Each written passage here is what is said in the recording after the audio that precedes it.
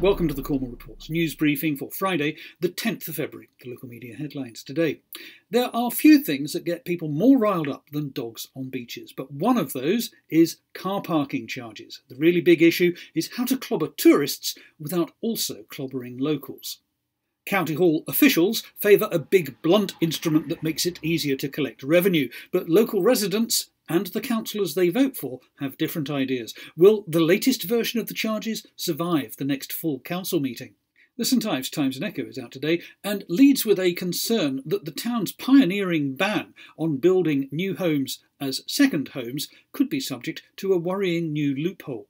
The paper fears that apart hotels, serviced apartments, are offering wealthy people a way to build new properties which don't have to be a principal place of residence. The BBC said a chap who looks remarkably like the Prime Minister visited Cornwall yesterday.